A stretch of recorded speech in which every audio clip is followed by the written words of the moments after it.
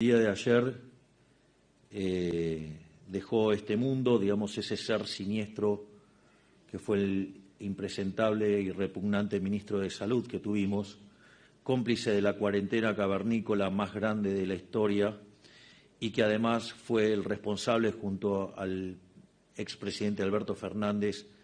de la muerte de 100.000 argentinos, porque si Argentina hubiera hecho las cosas como un país mediocre, hubiera habido 30.000 muertos, sin, sin, embargo nosotros pasamos los 130.000. Por lo tanto, digamos, a pesar de que murió y la gente le gusta manifestar, eh, digamos, parece que los muertos se vuelven buenos, no, este era un hijo de remil puta y será recordado como un hijo de puta.